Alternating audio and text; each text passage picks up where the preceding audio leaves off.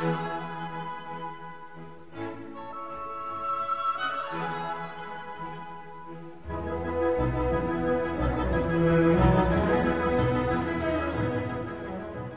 rientrare a casa si tenevano per mano, le braccia mutuamente avvinte, librati in leggero passeggio e per lo più distratti dal reciproco ricercarsi degli occhi.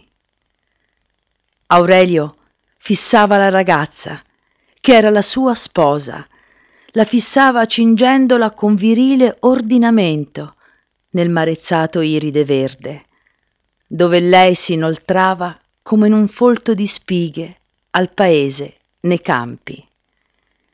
E vindugiava lei davanti alle gocce cremisi dei papaveri, immobile nella stupita estasi dei veridici sensi, varcando e rivarcando in agreste vicissitudine d'amour enfantin il solco dell'opportuna vergogna, quella presa dietro le ombrose sottane delle nonne contadine.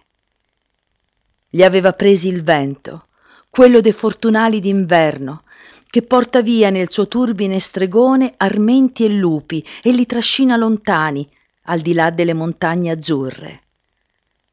Se ne erano partiti con la dote dei bei corredi di lino, che le donne di casa sbrigavano dai tiretti del canterale, cosicché tutto un brivido di lavanda infebbrava la purezza degli imenei e l'inghirlandavano i fiori del pesco e l'aurifera primavera dei sessi.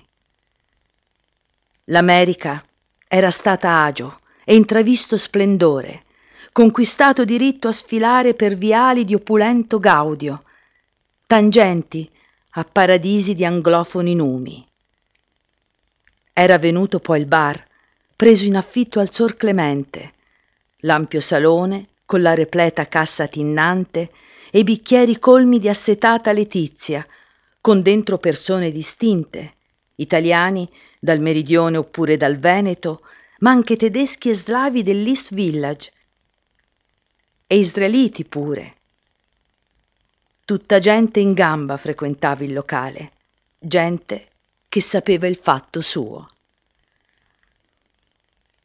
Correvano quasi lungo la Fifth Avenue Aurelio e Erminia, ariosi e come presi da quel pristino vento.